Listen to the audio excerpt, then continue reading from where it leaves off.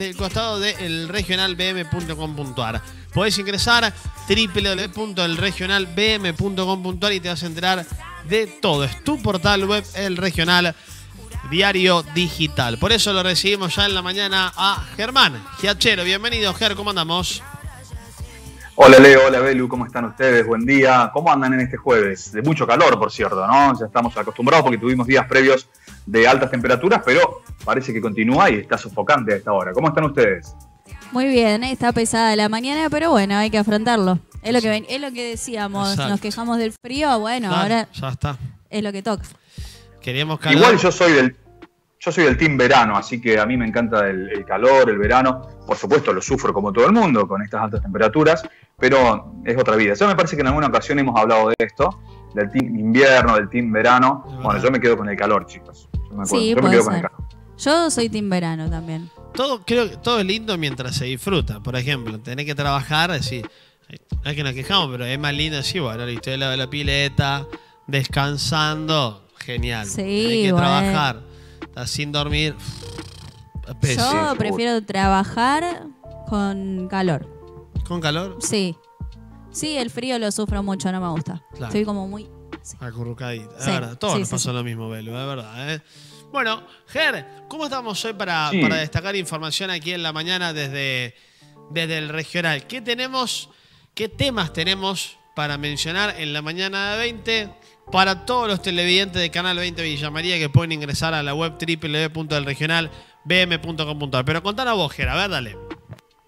Bien, buenísimo. Tenemos un montón de información, como siempre, información, opinión, investigación, historias, temas que eh, son muy particulares y que, por supuesto, eh, a nuestros lectores les gustan y habitualmente lo siguen, más allá de las noticias que tienen que ver con las cosas, los temas y los hechos que ocurren de manera cotidiana en cada jornada. Por supuesto que reflejamos eso, pero tratamos, como siempre, de darle un plus que vaya más allá de la información de, de todos los días, ¿no? Bueno, para destacar entre muchos otros temas, tenemos, eh, por ejemplo, eh, el caso de, bueno, un reciente robo que se produjo en barrio Ameguino, eh, una vecina, una mujer, eh, abogada de profesión, bueno, padeció en carne propia lo que es el temor, el pánico, la angustia que se genera, porque ella vio en directo a través de la cámara de seguridad del frente de su vivienda cómo trataba un delincuente de ingresar a su casa. Forcejeó la ventana, rompió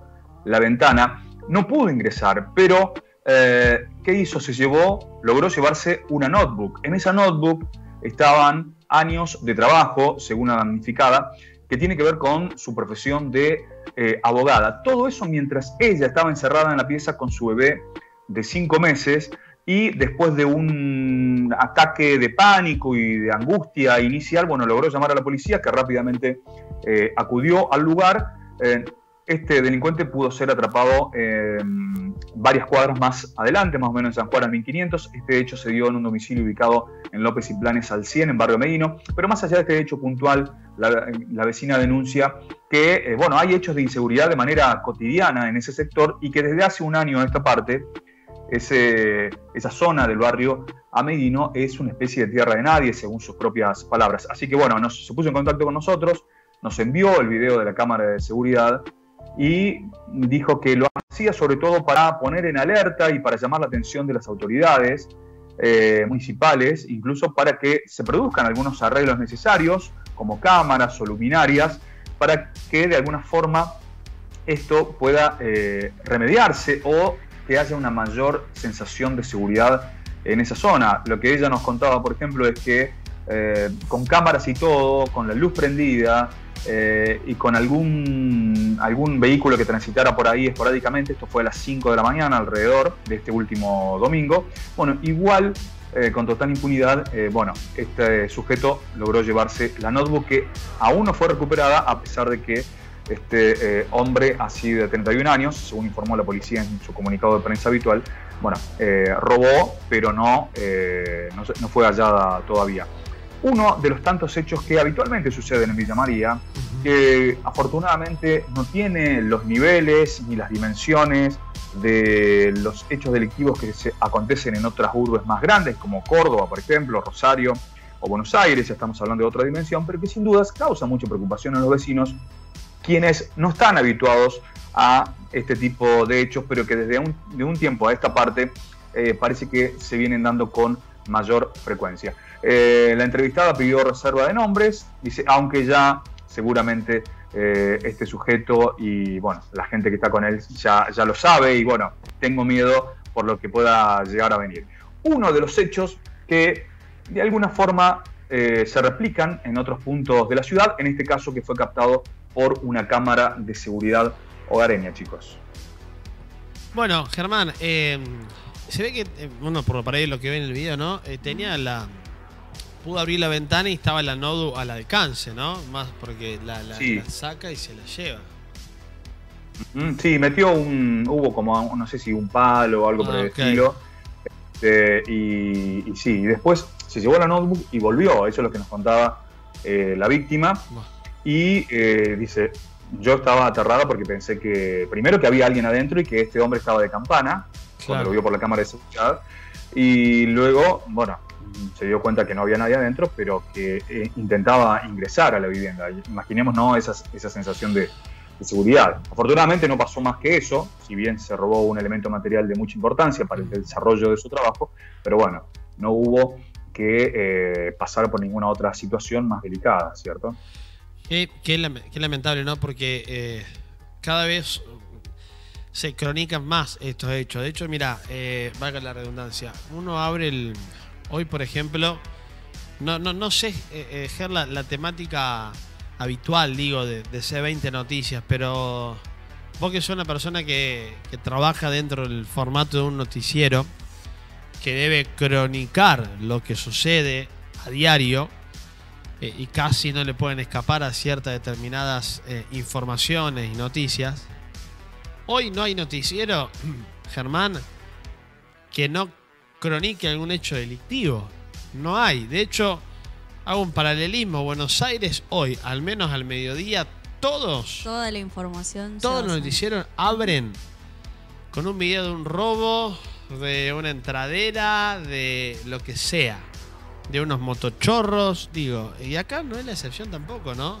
Eh, y uno imagina que a mayor índices de pobreza, lamentablemente también hay que pensar que más van a ser los hechos delictivos. Más van a ser, no se justifica, pero más van a ser los hechos delictivos de, esta índole. Eh, es totalmente eh, feo que vos estés por la cámara en tu pieza, como recién contaba vos, Germán, viendo que hay una persona que quiere entrar a, tu domicilio. Todo lo que te puede pasar por la cabeza ahí es más es inimaginable y uno dice, llama a la policía. Ahora, en frío. En el momento hay que estar. Hay, que estar en esa situación, por supuesto. totalmente, Germán. Realmente, uno dice, por ahí piensa cuando, escuche, cuando escucha este tipo de relatos u otros, eh, ¿qué harías vos en esa situación? Y bueno, yo haría tal cosa, pero hay que estar en ese momento, bajo esas circunstancias, sí. No, decía que el hecho de llamar a la policía teniendo a alguien afuera también hay que hacerlo con mucho cuidado porque te pueden escuchar y puede generar como también un poco de violencia en la persona que está ahí. Es como todo un tema, no es tan sencillo como, bueno, levanto el teléfono, llamo a la policía y ya está. Es una situación bastante complicada. Exacto. Eh. Bueno, Germán, eh, vamos a continuar con más títulos, si te parece, en la mañana. Destacados del regional bm.com.ar con Germán Hachera. A ver, Ger. Bien, eh, un informe que tiene que ver cómo el gobierno nacional asigna recursos para la seguridad interior, es decir, eh, qué presupuesto tiene el gobierno de Alberto Fernández en este 2021 para las distintas zonas de, la provincia, ¿no? La seguridad que le corresponde a las fuerzas federales, llámese Policía Federal, Gendarmería, eh, Prefectura, por ejemplo. Y hay, o se repite en todo caso, un esquema que es eh, muy típico, ¿no? Y que revela que más allá de ser un país federal en el aspecto normativo, en las leyes, en el ámbito legal, en realidad continuamos siendo un país muy centralizado, más allá de algunos intentos de federalización o más allá de algunos intentos de, llevar quizás más obra pública al, interior del país y un proyecto que, bueno, que fue ley, el hecho de mm, designar capitales alternas en distintas eh, partes del país, eh, como por ejemplo Río Cuarto lo, iba a hacer aquí en, la provincia de Córdoba. bueno, el centralismo está eh, a flor de piel y se vive, por ejemplo, con la distribución de los subsidios. ¿sí? Eh, ya sabemos que eh, gran parte de los subsidios de la nación se destinan al conurbano, sobre todo para suplir algunos, el costo de algunos servicios. ¿sí? Hablemos de transporte, hablemos de gas, hablemos de electricidad y una amplia mm, inequidad en relación a lo que le llega al, resto del país, al interior de nuestra Argentina. Y en este caso la nota refleja eh, que más del 60% del gasto nacional en seguridad va al AMBA, esto es eh, al área metropolitana de Buenos Aires, principalmente lo que tiene que ver con el conurbano bonaerense, esa zona eh, tan particular que tiene eh, la, República Argentina. ¿Cómo se distribuye, por ejemplo, el presupuesto para que nos demos una idea y a partir de ahí podamos establecer algún otro tipo de paralelismos en relación a la distribución de recursos que hace eh, la nación con el resto de las provincias? Por ejemplo, en las provincias limítrofes con países vecinos, la nación asigna el 22% del presupuesto. ¿sí? En el cuidado de las fronteras con otros países de la región, el 22% del presupuesto de seguridad nacional es para eso. ¿sí? ¿Quién es, ¿Cuál es la fuerza que eh, custodia las fronteras nacionales? Es Gendarmería, en el caso que sea un límite con un río, por ejemplo, eh, también aparece eh, Prefectura. El 22% del presupuesto se destina para cuidar las fronteras. Presupuesto de seguridad estamos hablando, ¿no? En las provincias del interior que no son limítrofes, se asigna el 11% del presupuesto. Y acá está el número que refleja una completa desigualdad. En la ciudad autónoma de Buenos Aires y en la provincia de Buenos Aires, sobre todo en el conurbano, como recién les decía, se asigna el restante 67% de presupuesto. Y esto obviamente se refleja en la desigualdad al momento de eh, acceder a una mayor seguridad en lo que tiene que ver con las fuerzas eh, federales. Por ejemplo, hay eh, hay agentes de gendarmería, muchos, muchísimos, en el conurbano bonaerense, cuando esos recursos quizás deberían estar destinados para proteger las fronteras de la República Argentina con otros eh, países limítrofes. Gendarmería se ha distribuido por distintas partes del país. Tenemos un destacamento aquí en Villa María, por ejemplo, cuando habitualmente esta fuerza eh, se encargaba de controlar la seguridad en las zonas fronterizas. En definitiva, una muestra de muchas veces eh, la inequidad o la desigualdad con que se redistribuyen los recursos que aportan todos los argentinos eh, por parte del gobierno de la nación hacia el resto del interior eh, del país. Un informe de la consultora IDESA que nos pareció muy importante para reflejar lo que habitualmente queda solo en palabras, el federalismo, cuando en los hechos esto está muy lejos de ser una realidad, chicos. Bien, Germán, muy bien. Eh. Eh, quiero aprovechar el tiempo aquí en la, en la mañana, Ger. Eh, vamos a continuar con más información. decime los títulos que nos quedan pendientes, Ger. Nos queda uno. uno que tiene una nota muy interesante, como todo lo que hace la licenciada Noelia Benedetto, que es psicóloga y sexóloga. Eh, poliamor o poligamia en relación a mm, un término, un concepto que apareció hace muy poco dando vueltas y que por ahí se suele confundir con poligamia. Pero bueno, ya lo vamos a comentar rápidamente. Tenía otro título que tenía que ver con un homenaje que le hicieron en el pueblo natal eh, Calchín a Julián Álvarez, el, hoy por hoy el mejor jugador de fútbol argentino que milita en River Plate. No sé si lo conoces, si, tenés alguna idea eh, de, Julián Álvarez, Belu. Leo me parece que lo conoce, por eso por supuesto. yo tengo, tengo dos si no querés, Leo, no lo repasamos a eso. No, no, sí, por favor. Tengo dos deseos para los hinchas de River. Uno es que Gallardo, para viendo ustedes, eh, Javi puede ser el DT del Barcelona, no Gallardo, entonces ya, lo tenían listo por lo que veo. Eh, eso por un lado, ojalá que Gallardo vaya a Europa, para mí un DT que lo necesita Europa. Necesita usted que se vaya. No, no, no me parece. No, Gallardo argentino y nada, uno siempre le desea lo mejor. Eso por un lado, Belu. Por el otro, eh, Julián Álvarez, para mí, hoy es el mejor jugador. Está en un muy buen momento. Y voy a decir algo que le va a molestar a los hinchas de River. A ver. A usted, a Germán. Bueno, lo tomamos como de quién viene. No, Como pero. un hincha de Boca, si digo. Todavía no, si todavía no dije nada. Bueno, pero si, no, si nos va a molestar, lo Pero tomamos pará, como que viene pero un ¿por hincha qué de no me Boca. de- No, pero viste a la defensiva, pero no escuchen, escuchen que es bueno lo Uy, que voy a de- decir. Le va, a molest- Desperté a la fiera, me parece. le va a Sí. molestar porque en un punto es contraproducente para ustedes. Bien. Hoy estaba en, en mi repaso matutino de periódicos eh, a nivel local, provincial, nacional, internacional. qué sé yo. Hoy, hoy, por ejemplo, Germán Belu, nada, eh, leí desde el diario Puntal, ¿a qué me llamaría? Pasé por The New York Times, por ejemplo. Voy, voy, voy, Está voy con los diarios. Y en uno, Ujú. de- trrr, ah, ¿qué pasó, digo, acá? ¿Qué hay? ¿Qué había? digitalmente lo- es mi repaso, ojo. Julián Álvarez está en la mira del Real Madrid. Hoy vi eso. Entonces digo, ojalá que se vaya. ¿Por qué ves? ¿Pero por qué? Por eso digo, es bueno para ustedes. Es contraproducente y capaz se enoja como yo estoy diciendo, ojalá que se vaya el mejor jugador que tiene River y el fútbol argentino. Pero lo que voy es que no me gustaría que suceda lo mismo que pasó, y lo digo por experiencia, en Boca con Pavón. Ustedes se acuerdan que en un momento Boca estaba a punto de vender a Pavón al Arsenal de Inglaterra y que no, que pidió más, que qué sé yo. ¡Boom! Quedó. Fue a Estados Unidos, volvió, un desastre Pavón. Entonces digo, ojalá que River pueda venderlo a Julián, a Julián Álvarez. ¿Saben por qué? ¿Por qué? Porque River tiene un gran importe de pasivo. Tiene eh, la- las cuentas del club están en un punto bastante complicado y creo que le vendría muy bien a la dirigencia de Donofrio cerrar con, con números más tranquilos que los que están ahora, ¿me explico? Entonces, yo lo que estoy diciendo no es nada en contra de ustedes, ¿eh? está bien, perderían el DT y perderían al mejor jugador del equipo, pero bueno, ¿Solamente quiere que perdamos eso? Nada más que eso. bueno, Leo, bueno. a todo esto, hablando de, de, de Pero esto. no, no le gustó mi análisis, chicos. No, porque ¿viste, usted Germán? siempre quiere que se vayan los grandes del club. A, traer- Gallardo hace voy meses que lo viene echando usted. A, a una mediadora al piso que traiga un poco de paz. ¿Me esperás, Germán, un segundo? Deme un segundo. Yo creo que es un buen momento, señoras y señores. De Claudia Rey.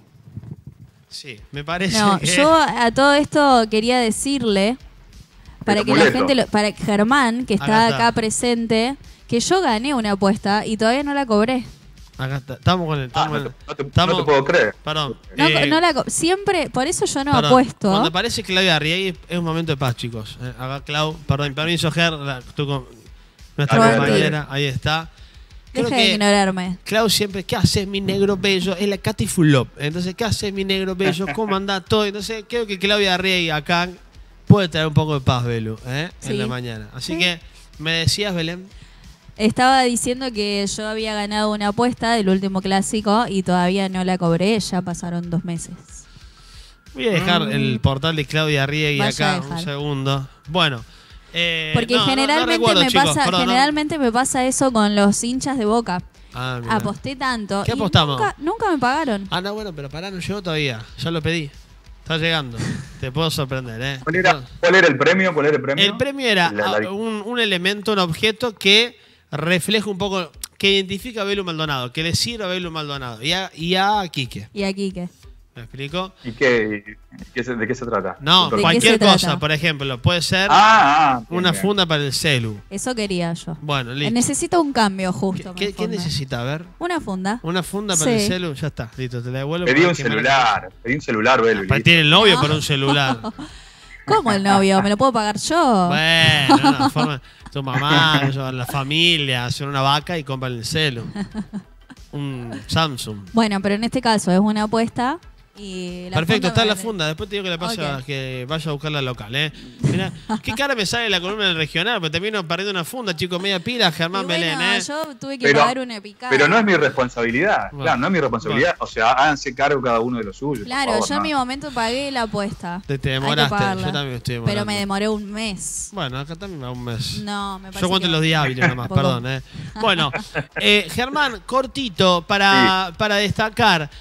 Vamos a traerlo a tema ya el próximo, eh, el próximo jueves, pero políticamente va a ser muy movida la próxima semana Y es ahí donde vamos a poner en tema esto.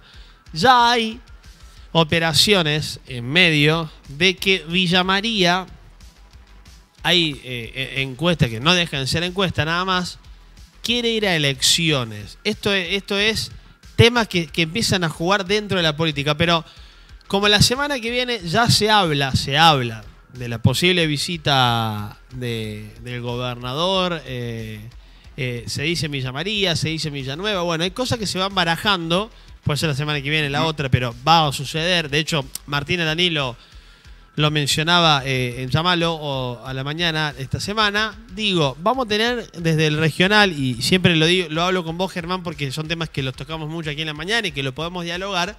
Vamos a tener que hablar al respecto de esto. ¿eh? Así que atención, porque me parece, Germán, que es el juego político, hablando puntualmente de Villa María, que se genera en Villa María. ¿Me explico? Claro. Que la gente, hay un cierto número de electorado que dice, che, basta, queremos elecciones. Pero bueno, hay otros ponderables que tienen que, que suceder, pero como la semana que viene va a estar bastante movida en cuanto a esto, vamos a dejarlo para, para la próxima semana. ¿Te parece, Ger? Dale, dale, me parece. eh, incluso, bueno, ya eh, viene movidita, las arenas movedizas de, de la política villamariense están más movedizas que nunca, valga la redundancia, y por supuesto empieza noviembre la semana que viene, falta muy poquito para las Claro. elecciones legislativas del 14. Sobre ese telón de fondo aparece la cuestión de la postergación de la licencia de Martín Gil como intendente eh, de Villa María para seguir ocupando el cargo de la Secretaría. Bueno, ya hay eh, algunos anuncios de que parte del bloque cindido, el bloque cindido puntualmente no, va, no votaría en caso de que se presente un nuevo pedido. Y bueno, sobre esa base aparecen un montón de conjeturas y especulaciones. Vamos a conversar la semana que viene, no hay ningún problema, Leo, cuando quieras. Muy bien, ¿eh? Bien. Y, para, y para cerrar, pasa que nos quedan temas muy, muy, muy, muy tópicos bastante importantes. Nos quedó eh, Poliamor y poligamia po- exacta, pero para de hoy, para hoy. y pero anteriormente no había quedado hace dos semanas Eh, atrás. sí, el tema de Happy Gracia. Eh, eh, también. ¿Viste? Yo- me, Ah, me Quedan gustaría. pendientes, quedan pendientes. Sí, me gustaría, Ger, vamos a hacer una cosa. Sí, sí. Son temas para hablar, porque, porque digo, Para debatir. Claro, va, va- hay que debatir mucho y acá tenemos dos personas en el control que este tema te comen, ¿me explico? Entonces, Claro. pero literalmente te comen porque hay uno que creo que no sé si lo practica, te diría. Está en eso, está en eso. Está en ese proceso. Entonces, si te parece, Ger, el próximo jueves Sí, tocamos, si podemos, estos dos temas, hacemos el costado político y si queda tiempo, un tinte periodístico más de, de- de lo, de lo que es- tengamos de actualidad. Porque son temas muy importantes que el regional pone para que vos puedas leer, desarrollar y sacar sus conclusiones. Claro. Y acá van a ser debates trascendentales, esto de ya te lo digo. Con Sí. Belén decimos la otra vez, nos quedó pendiente esto, nos quedó, Quedó pendiente, este. pendiente. Yo me acuerdo, imagínate todavía el tema de Happy Gracia que pasaron dos semanas, porque es muy interesante para charlar. sí, sí, sí. Por eso, no, entonces- no lo recordaba, pero sí, pero sí me parece, me parece muy interesante. Si querés damos un adelanto breve y lo dejamos para, Dale, Dale. dale, para a ver. desarrollar el- en el programa que viene. Bueno, eh, Happy Gracia también era una nota de eh, Noelia Benedetto y que habla de alguna forma de este mandato social de tener que ser felices todo el tiempo, una especie de dictadura ¿Qué que obliga a las personas a ser felices todo el tiempo y si no lo sos, sos un fracasado. Sí. Y de alguna forma eso eh, aparece como un mandato, eh, a ver, que está siempre presente en cualquier tipo de actividad que hagas. eh, y bueno, y ahí aparece en el desarrollo de la nota algunas cuestiones interesantes que si quieren las charlamos la, la semana que viene, pero se vincula sobre todo con eso, ¿no? Con la obligación de tener que ser felices o por lo menos mostrarnos felices. Claro. ¿sí? ante el resto de, de la sociedad eh, todo el tiempo. Si no, te tildan o te catalogan de cualquier cosa, ¿no? Sí, sí. Bueno, y no, no, por eso te digo, Ger. eh, eh, ah, eh, es más, te diría, si armate de tiempo la semana que viene, porque la- vamos a entrar de lleno con esto. por- y tiro este disparador para que no nos olvidemos, pero. Qué difícil es cuando te mostrás un poco vulnerable. Por ejemplo, cuando decís, che, no, no tengo un buen día, estoy por un... te pone en un estado de vulnerabilidad. ¿Es bueno o malo eso? Porque no te está mostrando feliz, alegre. No, por eso te digo, Ger, el, el próximo jueves entramos con todo en el, en el, en el regional. Es más, vamos, a- Perfecto. vamos a tirar en las redes sociales el tópico a ver qué dice la gente. Estaría bueno. ¿eh? Sí, por Vamos a leer favor. comentarios de la gente también el próximo jueves. ¿eh? Así que, bueno, Ger, nada, me encantó charlar con vos. Ya en minuto lo tenemos a Franco Gragli aquí en el piso. Ya está con nosotros en zona mixta. Bueno, eh, qué bien el canal, ¿eh? Vamos a estar adelantando todo lo que tiene que ver con el fin de semana. Hay celebración eh, en Villanueva. Así que bueno, venimos con bastantes novedades eh, al, al- al respecto. Feliz de verte. Ayer, si no me equivoco, antes ayer lo crucé a Germán, así que nada, eh, en la previa del noticiero, un despliegue acá increíble. Así que la verdad, Ger, feliz de verte. Ojalá antes fin de año nos podamos cruzar para charlar un poquito en vivo. Sé que hay cosas que están programando la gente del canal, ¿eh? Así será. Bueno, el agradecido, como siempre, soy yo por este espacio en Mañana de 20. Les mando un abrazo grande a los dos y, por supuesto, el jueves próximo estaremos charlando de estos temas que ustedes plantearon y lo, y lo que surja también durante Bueno. los días. Un abrazo y buena semana para todos. Chao, Ger. Un Gracias, abrazo. Germán. eh. Qué bien, qué bien, qué bien, Germán. eh. Muy bien. Qué lindo que haya. ¿Y cómo vamos a estar para el, para el jueves que viene? El jueves que viene, sí, a full. Full Preparado. debate eh, la semana Va que a viene. ser un debate bastante importante. Que se eh. preparen en el control también, que se prepare la gente del otro lado. Es más, quiero cámara en el control el jueés que viene. Bueno, ok. Acá venimos Quiero- sin estudiar, chiquito. Quiero cámaras en el control. el jueves- Encuestas